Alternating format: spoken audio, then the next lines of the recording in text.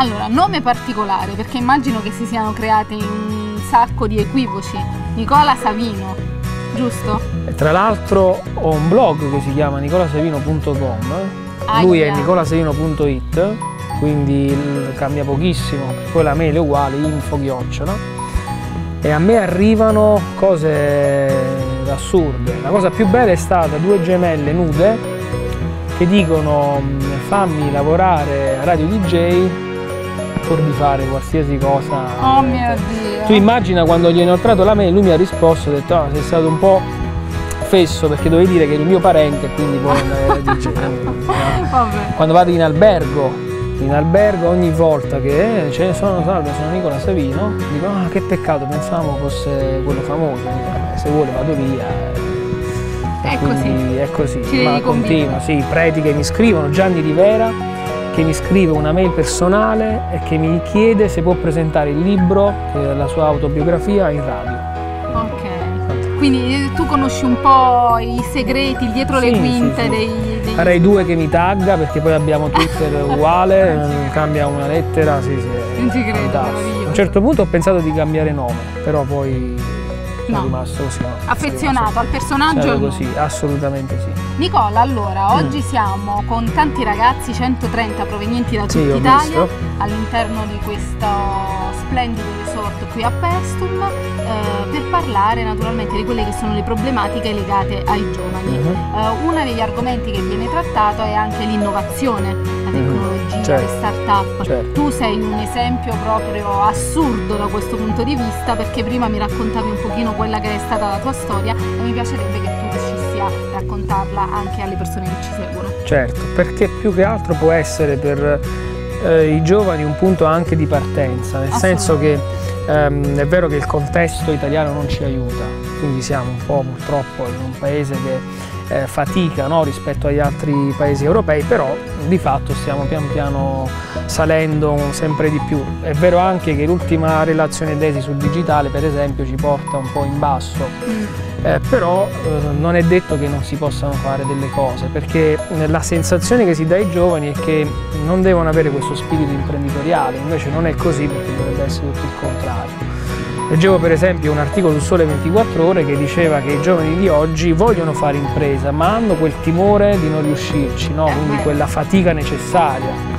Eh, ti faccio un esempio pratico, io faccio l'università alla Federico II, sì. ingegneria informatica, eh, mentre ero assistente del professore Maresca, che tuttora è ovviamente professore di cattedra all'università, eh, mi invento un sistema per far fare i sviluppatori, i programmi, quindi tecnologia Eclipse che è un programma IBM direttamente in cloud, mm. quindi una cosa che non esisteva prima.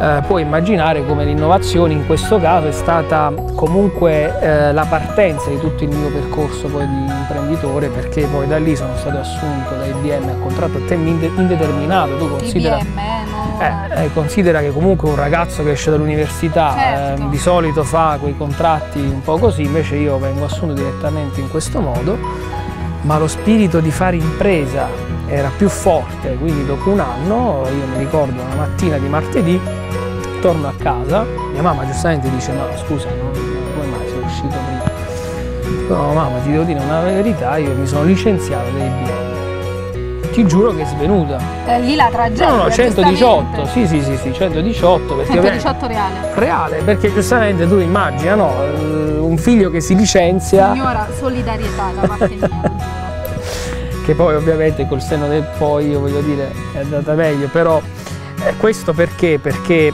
eh, non abbiate paura di affrontare quello che è un vostro desiderio. Perché dopo che è successo, dopo che ti sei licenziato? Ecco, ho creato una ditta individuale, uh -huh. mi ricordo già nel 2009, primo gennaio, vado alla Camera di Commercio e parlo vicino alla signora, guarda io voglio fare queste tematiche, digitalizzazione dei processi aziendali, conservazione digitale, dematerializzazione, fatturazione elettronica per esempio è un argomento che sento molto certo signora mi guarda un po' così, dice non so cosa, di cosa stai parlando, ma auguri, diciamo, ti faccio in bocca al lupo.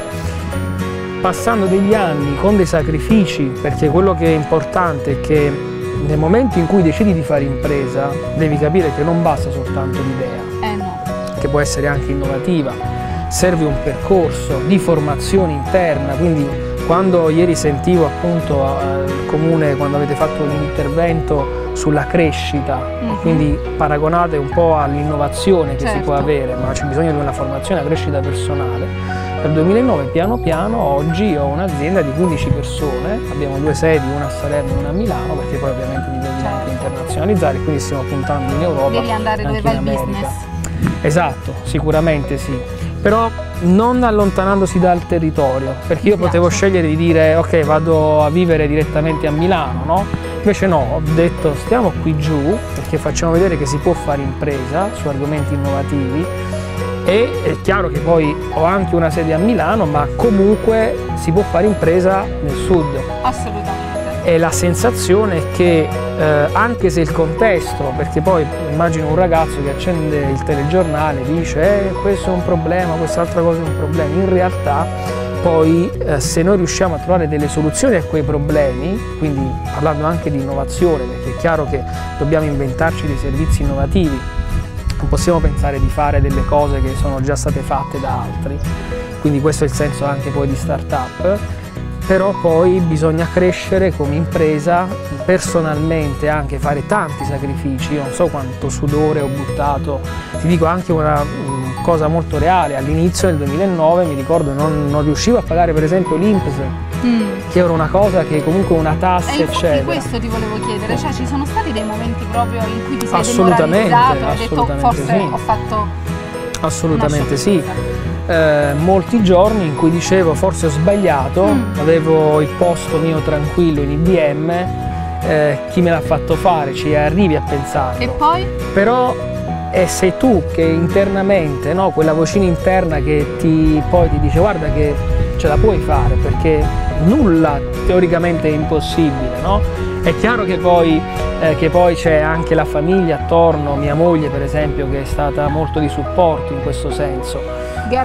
Eh, assolutamente sì, le, le, donne hanno una maggiore forza su queste cose qui. Quindi ehm, anche se a un certo punto c'è stata questa sensazione di abbandono, in realtà poi il riscatto è stato più forte perché la è crescita di, di, andare sempre più su ovviamente ti rimane dentro. Sin Solution. Sin Solution, esatto. Si Noi, chiama così. Assolutamente perché l'idea era we have seen the solution, quindi okay. noi abbiamo visto una soluzione e quindi è rimasto poi quell'acronimo che diciamo mi è caro perché poi alla fine eh, puntiamo appunto all'internazionalizzazione, quindi avere anche un nome inglese ci dà importanza poi quando andiamo fuori, fuori paese, fuori Italia. Internazionalizzazione, parola difficilissima, infatti mi stavo inceppando, business, ma soprattutto territorio. Assolutamente sì. Risorse sul territorio ce ne sono, ragazzi in gamba ce ne sono? Assolutamente, assolutamente. La cosa più bella è che eh, spesso eh, si trovano delle risorse, noi in azienda abbiamo tutte persone del territorio e sono ragazzi che non si rendevano conto di avere delle mh, qualità enormi, delle potenzialità enormi.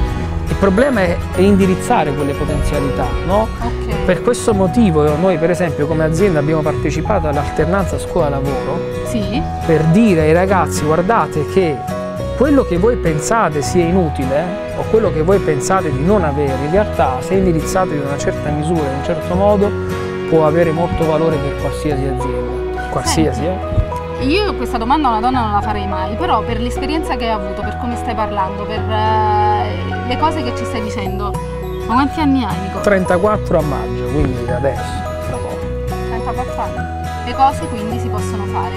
Allora, una parola per indicare i giovani del territorio. Allora, io voglio dire crederci. Mm. Perché mm, credo che c'è bisogno di sentire dentro quella volontà di poter fare della propria idea un'impresa.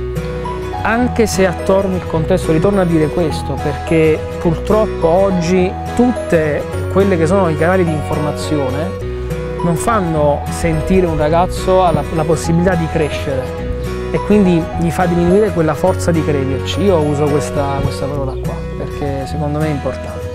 Crederci. Ok. Grande. Bene? Sì. Piaciuto? Molto. Questo Perfetto. è il fuori onda. Ah, questo giusto è sempre il fuori onda, assolutamente. Grazie mille. Grazie a voi.